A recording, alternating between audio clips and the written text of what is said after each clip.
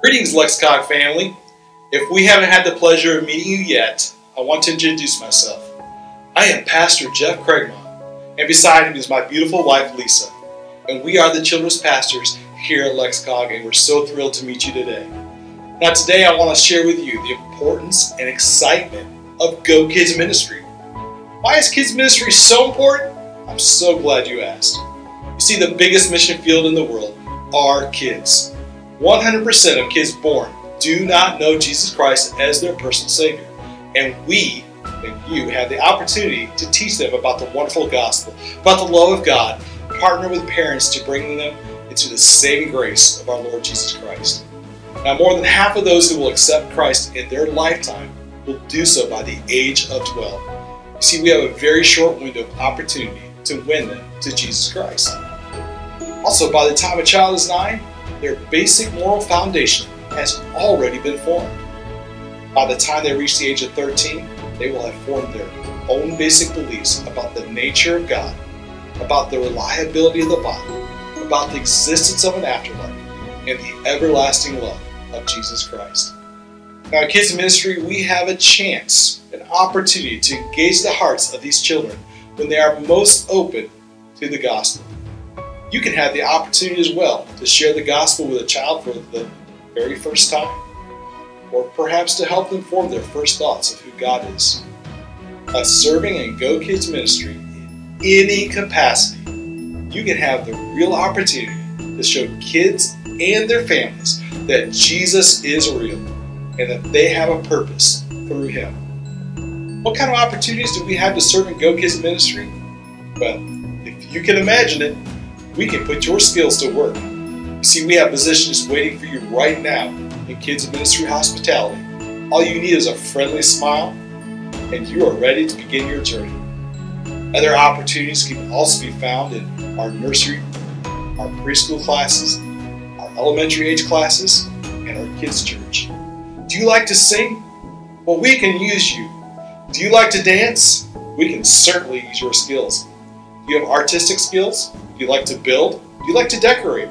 We can use you too. Maybe you like to goof off be a character. We can certainly use you for that. You like to be in front of people talking? You like coordinating a ministry or groups of people? Are you interested in teaching, assisting in class? Maybe you like to write cards, talk to people, or do outreach. Maybe you've always been interested in learning about how to run sound, live stream, or projection without the pressure of being in big kids church. You have skills in graphic arts or like to direct others? and you just want to be involved in special or big events. We have places in all these things and so many more just for you. I want to leave you today with our key verse from Psalm 78 4. We will not hide these truths from our children. We will tell the next generation about the glorious deeds of the Lord about His power and His mighty wonders. Will you consider joining our team today? Kids are listening to the voices around them, but we need you to be an encouraging and positive voice to teach them about the glorious power of our God. So, what are you waiting for? Join us today. Make a difference in the life of a child and help lead countless generations to Jesus Christ and eternal life. God bless.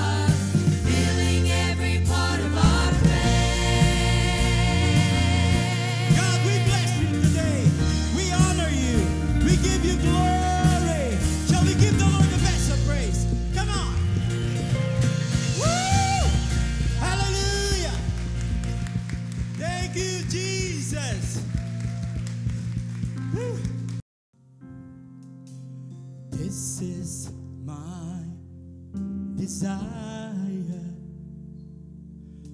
to honor you. Sing with me, church. Lord, with all my heart, I worship.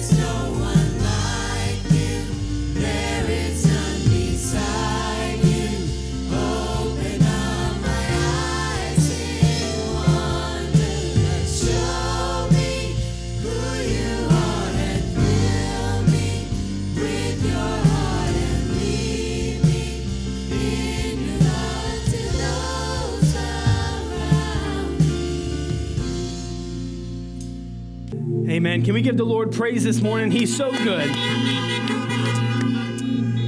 Lord, we thank you, God, and we give you the best of praise today, Lord. We just thank you that we have the opportunity, Lord, just to be here, God. God, although that we cannot be inside, Lord, I just thank you that we have the opportunity to meet outside, Lord. God, I just ask that today with service, Lord, that you would have your way today. God, I just ask that you'd minister to every heart, God, every mind, every soul, Lord. As we leave here today, God, we would leave here changed and transformed, God. God, by your word today. Lord, I just ask that you'd make my words your words, God. God, I just ask that you would just speak through me, God, and exactly on an on time message of what you need to be said. Lord, I just give you the praise. I thank you. And it's in Jesus' name we pray. Amen. I just want to quickly introduce myself if you don't already know me. My name is Isaak Savage. Um, I've been attending here at LexCog for close to 10 years now, and what an honor and a privilege it is to call LexCog home. Um, this church really has been my home ever since I moved down to South Carolina. And uh, in one of these cars somewhere out here, my wife has joined me today with um, her name is Sarah. And so we're so glad and honored to be here and joined in service. This message is, is something that's really been brewed on my heart for quite some time now. And uh, I know, and I know all of us can give the Lord the best of praise the, to know that 2020 is finally over. And uh, we're very, very glad and thankful to know that 2020 and hopefully 2021 will bring us new beginnings, great restart, great recharge, and knowing that no matter what happens, God is still in control. You know, one thing that I, I've mentioned before, I I'm not sure I've mentioned it outside in the parking lot service, but what I do know is that the year 2020, all of us had expected and all of us had hoped for this year that would be completely in, in, in just this vision, and we would just see new beginnings and we would experience all that God has to offer for us, and it would just be this testimony of what God is. We had, we had hoped and prayed that that's what 2020 would be all about. And as I sit here today, I can't help but to think that we really did and truthfully had 2020 vision. 2020 was a year that we had actually seen what the world was all about and it was broken.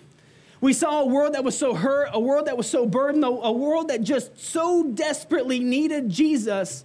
And today, in this society, in this time, we have realized that we as the church have failed to bring Jesus to these people that are hurting and broken we had an awesome opportunity. I had an op- awesome opportunity to uh, share a video with the first service. I'm going to tell you guys about it. I want you to go home and watch it. But on, on, at Google, on YouTube, whatever you want to use, you can type in Google your year 2020. And whenever you type that in, a video will pop up. It's actually made by Google. You can find it on YouTube. The most human trait is to want to know why. And in a year that tested everyone around the world, why was searched more than ever?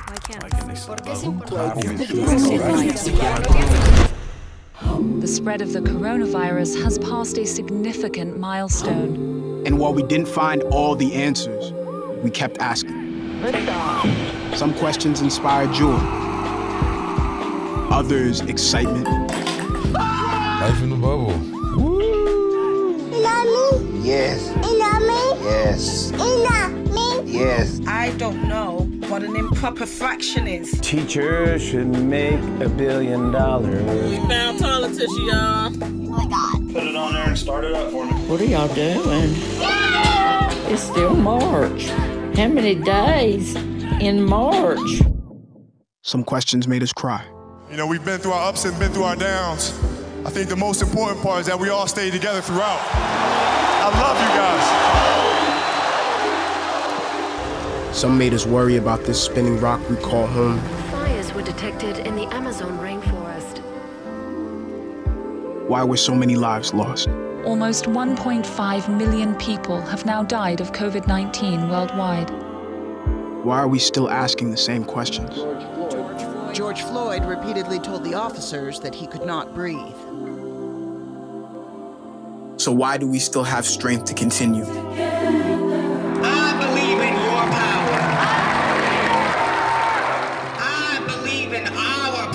Power.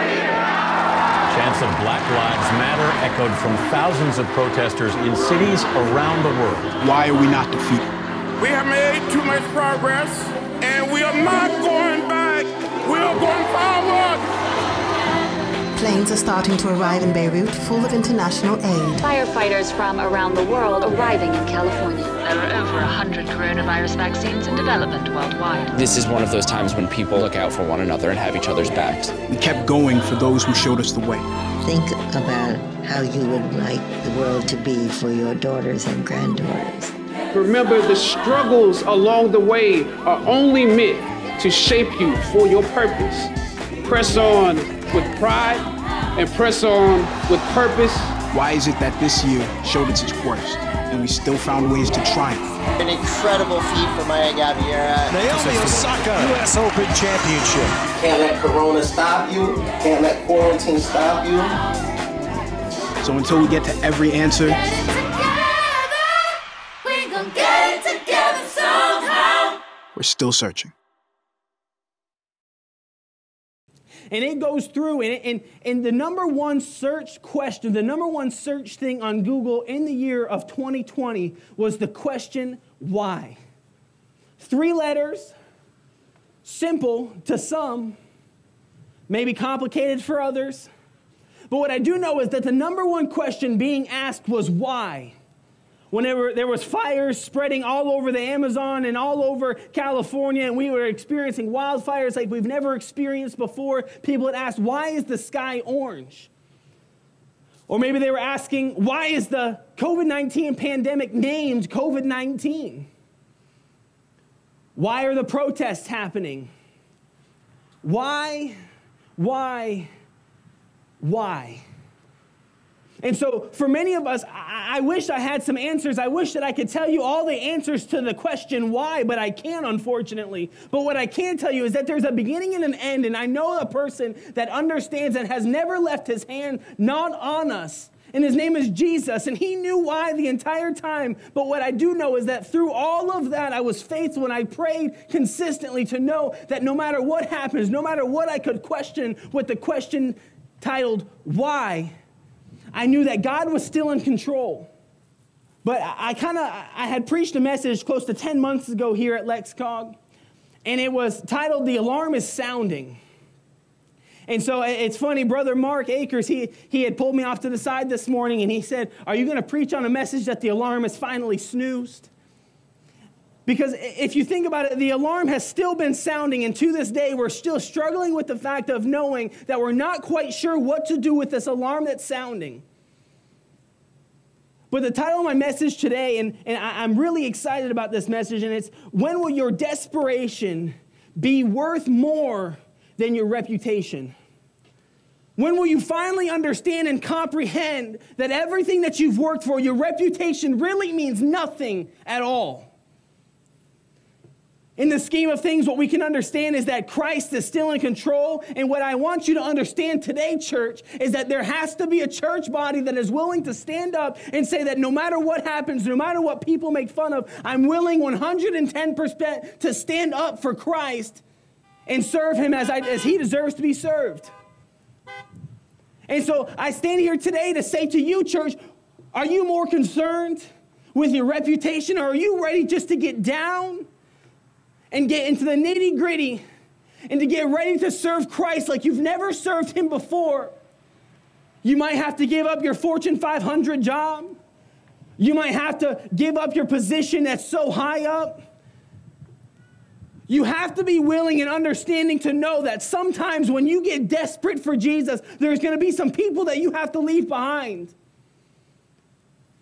Church, when are you going to realize that your sons and daughters bringing the things that they do inside of your home eventually has to cease?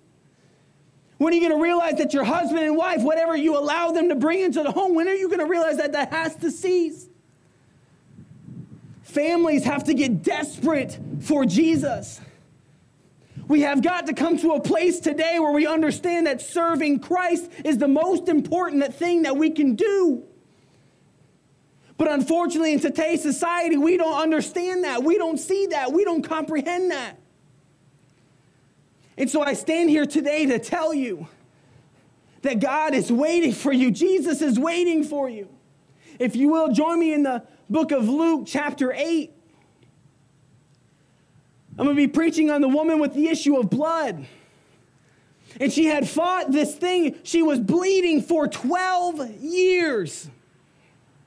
I, I have some, um, some facts about what 12 years is, and, and, and it's, it's pretty sobering if you ask me. And so, for 12 years, in our time, that is 4,380 days. That's 105,120 hours. And my most favorite, it's 6,307,200 minutes. This woman spent six million minutes consumed by this problem on the inside of her. And she had spent everything that she had. She used her whole livelihood to try to find a way to get healed. She went to physician after physician, to doctor after doctor, went to all these people that said that could help her. And I, am about to get to the passage, but in scripture it talks about how after she went to all these, she actually got worse. Now, like many of you, I, I have a doctor that I trust, that I go to. And I'm sure, like all of you, you also have a doctor that you trust and you go to. If you don't have a doctor, a dentist, somebody that you go to that is classified in the medical field.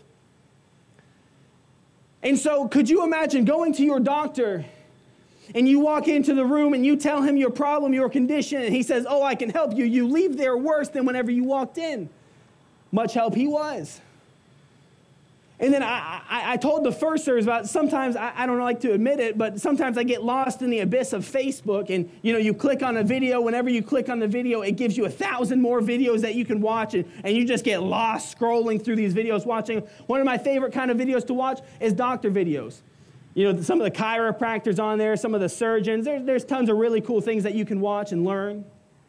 And so I, I whenever I watch them, I, I, tend to think that these people that they're recording in these videos travel all around the country, all around the world because they have a back pain, they have a knee pain, they have some sort of heart pain, and they can't find a way to get rid of it. And so they saw this doctor on social media all over the internet saying that this guy can fix everybody.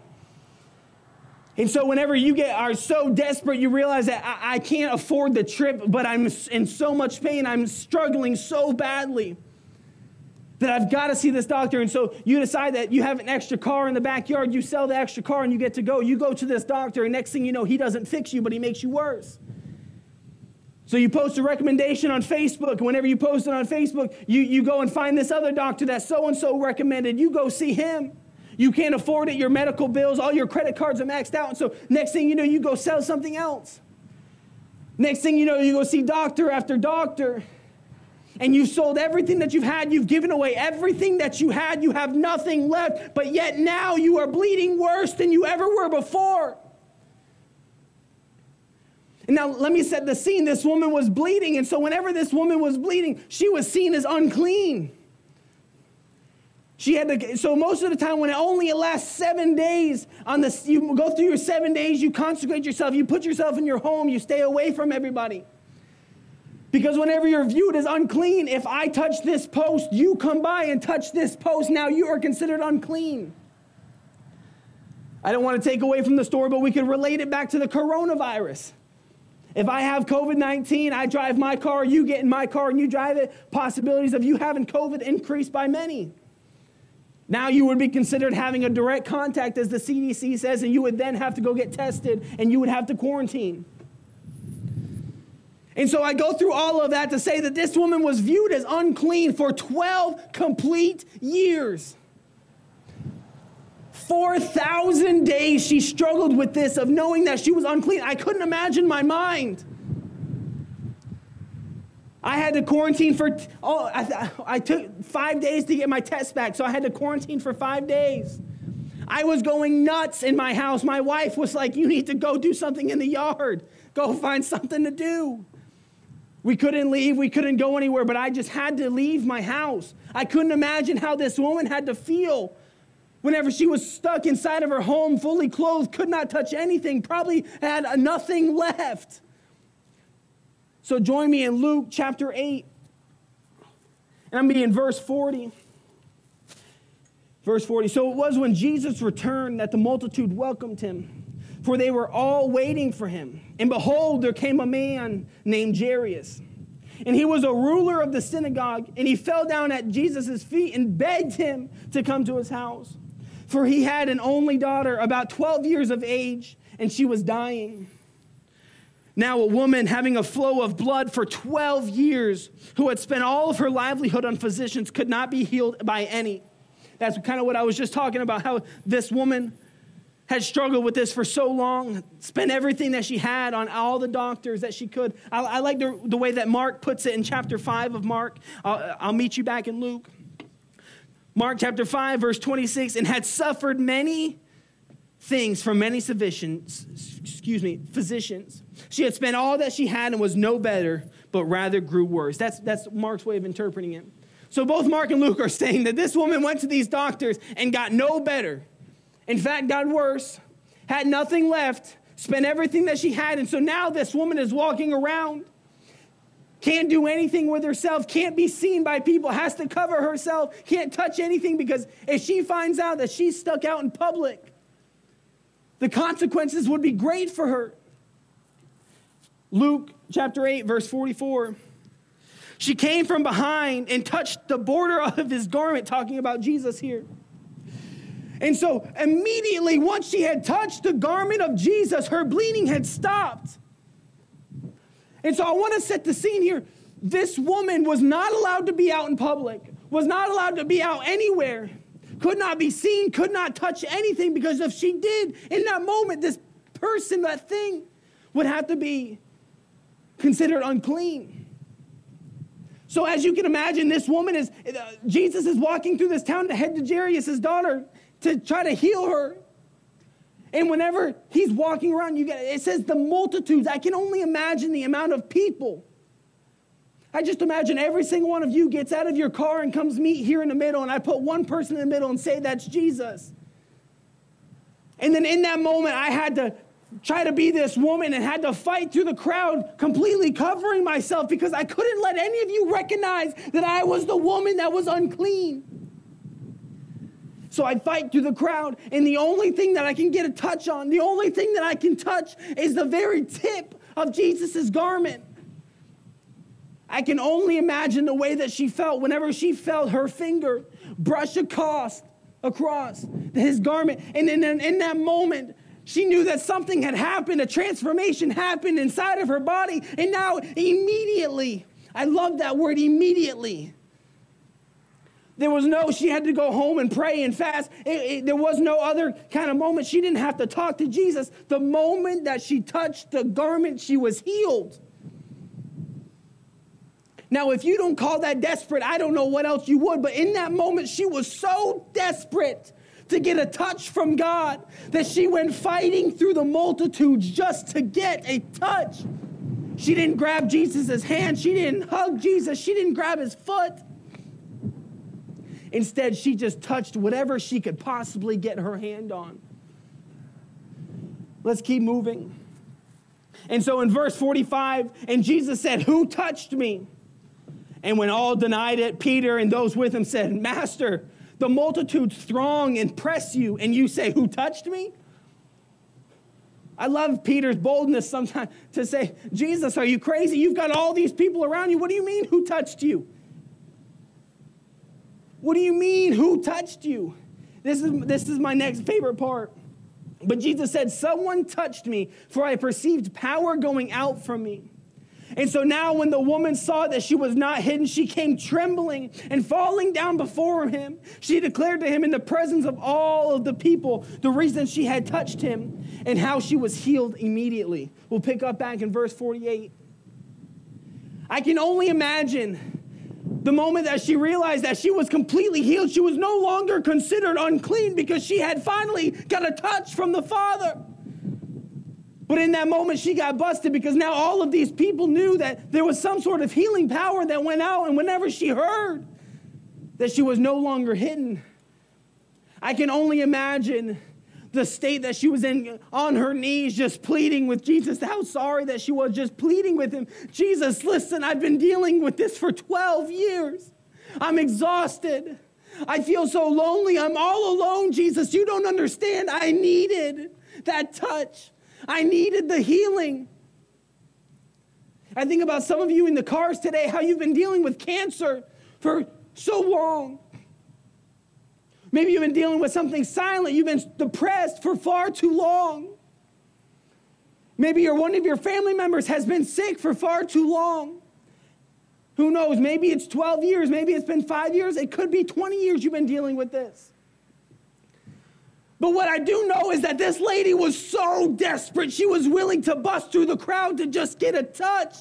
And I thought about you today, church. I think about me and I think about each and every single one of you. How desperate we need to be just to get a touch to Jesus. How important it is that we realize that we have to find a way to be so desperate that we stop worrying about the things going on around us. But instead, we put all of our present attention on what Jesus is and who he is and what he stands for in our lives. And we pursue him with everything that we have. Verse 48 in chapter 8 of Luke. And he said to her, Daughter, be of good cheer. Your faith has made you well, and go in peace. Your faith has made you well. So now go in peace. It was as simple as a touch. And I think about all too long how the church has overcomplicated this thing. And something I was telling the first service is that don't take away from the story, but plug your name into that story. Isaak, for 12 years, had battled this disease. And he could not walk and he could not talk and he lost everything that he had and he had hundreds of thousands of dollars piled up in medical bills. He could no longer work, he was disabled. He couldn't do this and he couldn't do that. And all of this time he had struggled. And finally, Isaak got so desperate that he walked down to the altar. He got down in his prayer closet. He kneeled down beside his bed. He got down on his knees and he pleaded with the Father and said, Father, I don't know what else to do. I've lost everything that I've had, but please, please. And finally, in that moment, Isaak feels a touch that he's never felt before. He knew that whenever that medicine was flowing through his body, it wasn't going to work. But in that moment, when he felt that touch from Jesus, everything began to change inside of his body, inside of his mind. In that moment, could you imagine whenever you sit at the doctor's office and a doctor gives you a pill and you swallow that pill, and inside your brain, inside your body, you feel something move, and you know that instantaneously that you're healed? No doctor on this side of glory, I believe, can give you that kind of pill. But I can tell you about a man named Jesus that what he can do is he can just simply give you a touch. With this woman, we found out that Jesus doesn't even have to touch us, we have to touch him. She reached out her hand and caught the corner of his garment. Church, I'm trying to explain to you today how simple it can be. The same Bible that I'm reading to you today, the same story I'm reading to you today, many of you have on your phones, many of you have at home sitting on the shelf, dusty. But, church, when are you going to find out that you are going to be so desperate that sometimes you just need to just get down on your knees and say, God, I'm desperate for you. God, I need you more than I ever have ever in my life before. But here's the thing whenever the pastor stands on stage and he says, every head bowed, every eye closed, and then he says those words, and you know that altar call is about to begin. And so he sits there and, and, and he preached an entire message, and God sat right in front of you and said, This is for you, this is for you. And then that pastor says, I want everyone that if, if under the sound of my voice, if this message was for you, I want you to come down front and I want to pray over you. I want to just be able to speak blessing over you. In that moment, instantaneously, everything that runs through your mind is that you realize that everyone's going to see you whenever you walk down to the altar. Everyone's going to notice you. Everyone's going to know that you have some sort of problem that you can't fix. No longer can you hide behind the facade of a smile. Now everyone can hide behind their masks. You don't even have to smile anymore. We can't see your mouths, anyways. So now you can walk around continuing to de- deal with this problem because you refuse to be so desperate to go get on your knees and pray and say, God, I can't do this any longer. God, I can't struggle with this any longer. God, I need you. But, church, we went through a full year being quarantined. We went through a full year, excuse me, 10 months of having to stay at home, of businesses being shut down, governments being shut down, entire countries being shut down, having to close schools, having to close churches. We went through all of this, but we refuse to get down on our knees and seek the one that can fix all of this. Truth be told, I don't think that a shot is going to fix this. I don't think that the masks are going to fix this. I don't think that all the precautions we can take are going to fix this. If I'm being 100% honest, I think all of us should take the proper precaution in every way that we possibly can. But if we want to see true change ensue upon the body of Christ, if we want to see true change ensue upon the world, it's going to take a church that is willing to drop to their knees at any given moment and give the God that we serve the best of praise, the most glory, and serve Him as we deserve. It takes a church willing to be desperate, whatever it takes. I can't help to think I don't have any kids. But I can't help to think about how my mom used to tell me when I was a little kid. That it did not matter what would happen to me. That no matter if a bear was running full speed ahead, if a train was chugging along the tracks and it was going to hinder me, kill me, hurt me. My mom told me from a little young age that said there is nothing that's going to come in between the love that I hold for you. There's nothing that's going to come in between me saving your life over mine. And I remember thinking that as my mom, and I used to think that, I still to this day think that my mom is a superhero. Why? Because I know that at my mom's house, at my father's house, no matter where I am inside their house, as long as I'm under their protection, I know that I'm okay. Because that's what they told me. Church, can I tell you about how God wrote you an entire book that told you that you would be okay? He gave you a way out. He told you how you can find healing. An entire book. Wrote it in thousands of different languages. Published it, small print, large print, you name it. Can't read? Great. We got virtual books as well. You think it's boring? They've got thousands of different kind of speakers, slow speakers, fast speakers, loud speakers, quiet speakers. You name it. But what I can say is that God laid all of this stuff out for you so that you could find Him and you could pursue Him, but you've got to be willing to lay down everything that you have. You have to be willing to dedicate yourself completely and totally to the Word of God and taking every word allowing it to follow, allowing it to light your path and you following every word. It's a roadmap. I just talked about how this person, this lady, had struggled with this disease for 12 years, had struggled with the issue of blood for 12 years. I'm sure there's people sitting in this car that have struggled with some sort of disease, infectious inside your brain, whatever it is, whatever you struggle with, what somebody in their car has struggled with that. And I just showed you a way out. We said that 2020 was the worst year of our lives, but guess what? That's the perfect way to f- start. All of us say that eventually we're going to hit rock bottom. If you ask me, the world hit rock bottom with 2020. We saw some of the worst things that we could probably ever see in our lifetime.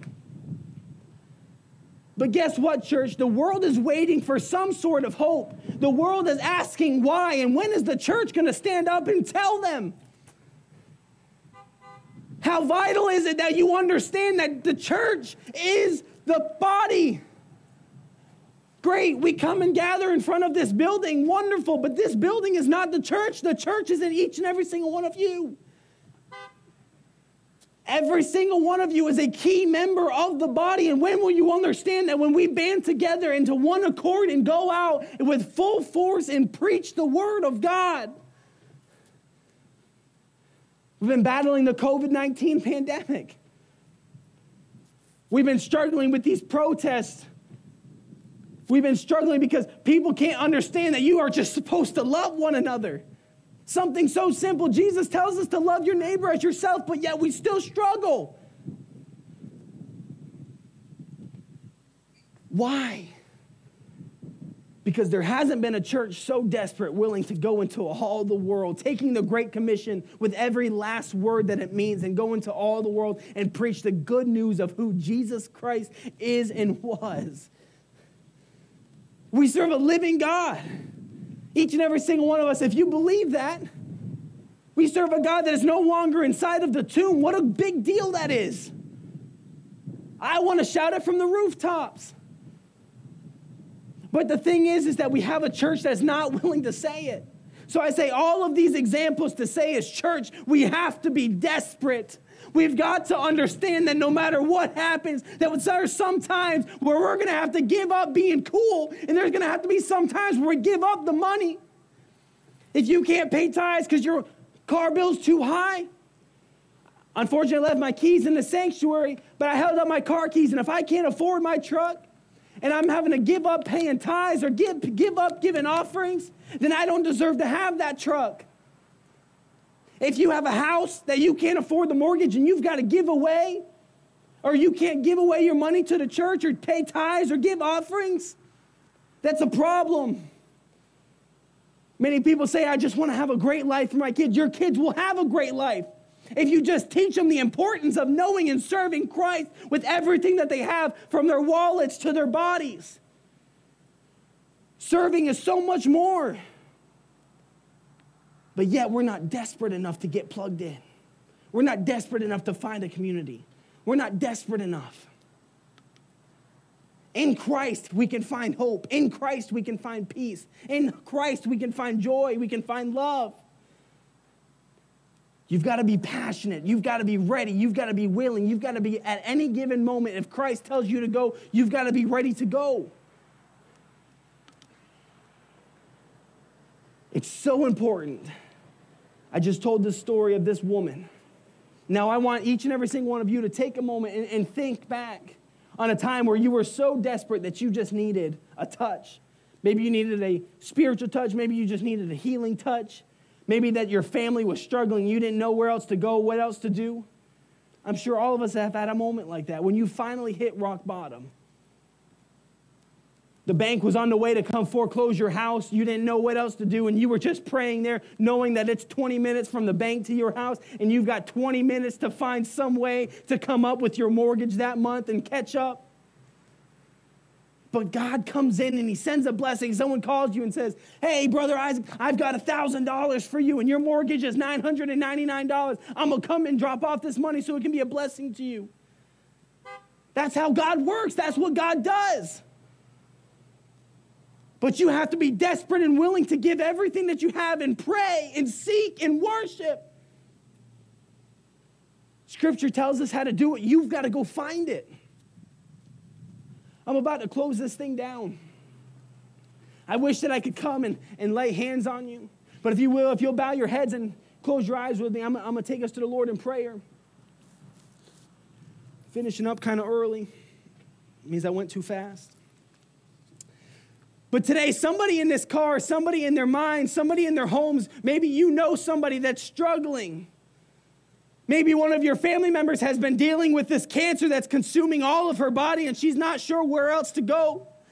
Maybe your mom or your dad don't know who Jesus is and, and you've been trying to minister to them in some way, but they're just not understanding where to go. Maybe your brother or your sister are making decisions that you don't understand why, but you just know that they just need a touch from Jesus.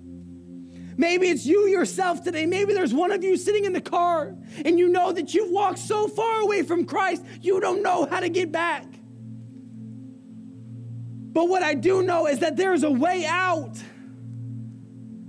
Unfortunately, the, the 2020 suicide results have not come out, the, the statistics haven't come out. But I was looking at the 2018, and from 2018, they did a study from 2009 to 2018, nine years, and they showed the upward trend of how suicide has progressed only in the United States.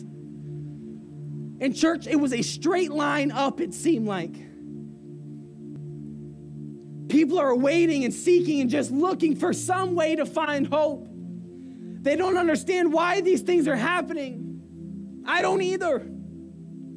But what I do know is I serve a God that is so faithful. I serve a God that is so holy that is going to protect me through all of it. Whenever you're in your Father's house, whenever you're under the Father's protection, there's nothing that can hinder you because God's got you.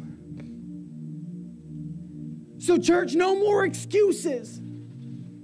Church, no more taking, taking leaves away from God. No more saying that God just isn't working out right now. No more excuses. Church, we have to find a way to be desperate for Christ.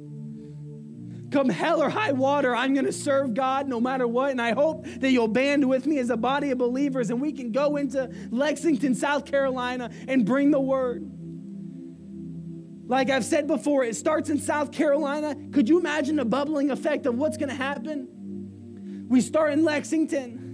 A, a, huge revival breaks out. Next thing you know, thousands of people are showing up, and we don't have enough room for them. And this revival starts to spread. It spreads into Columbia, South Carolina, our state's capital. It hits Columbia. It spreads from Columbia all to the surrounding cities and counties. And as it begins to spread, it spreads further and further. Then we hit Georgia, we hit North Carolina. This thing spreads further. Next thing you know, the whole eastern seaboard is broken out in revival, and we start to shift across the Midwest. Then we hit the West Coast. Next thing you know, all of America has broken out in revival. Could you imagine? All of America breaks out in revival. We start to move to these other countries. We hit China. We hit Japan. We go into Russia. We go into England. We go into all of Africa. We go to all these places and start to bring the word of Christ. Guys, it sounds simple. And maybe it is. But what I do know is that it takes a church body, it takes a people willing to be desperate for Christ and give everything that they have to make this thing work. To go into all the world and preach the good news of who Jesus Christ really is. Heavenly Father, God, I just thank you, Lord. God, I give you the praise, Lord. I give you the honor, Lord. And I just thank you that we have the opportunity to be here today. God, I thank you for the word that you've given, God. And I just ask, Lord, it wouldn't fall on deaf ears today, God. But whenever we leave here, God, we leave transformed and changed, God, knowing, Lord, that at any given moment, God, whenever we just feel that we need a touch from you, God, that we would understand that whenever we hit we, our knees, God, things can begin to change, God. The Spirit can begin to fall, God. God, out of the words of our mouth, God, to the prayer that we give to you, God, to the worship we give to you, I just ask, God, that you'd begin to inhabit. God, that we would give you everything that we have, God. Nothing is worth anything more than you, God. Lord Heavenly Father, I just ask that you would have your way, God. God, in each and every single one of these families represented here today, I just ask that you would run rampant, God, that the Holy Spirit, Lord, would come in and invade, God, like a hurricane. God, ceasing to exist, anything that would come in between you, God. God, I just give you the praise, Lord. I give you the honor. I thank you, God, that we get to serve you on this beautiful day. God, I ask that you'd bring us back, God, God, in complete condition. It's in Jesus' name we pray these things. Amen.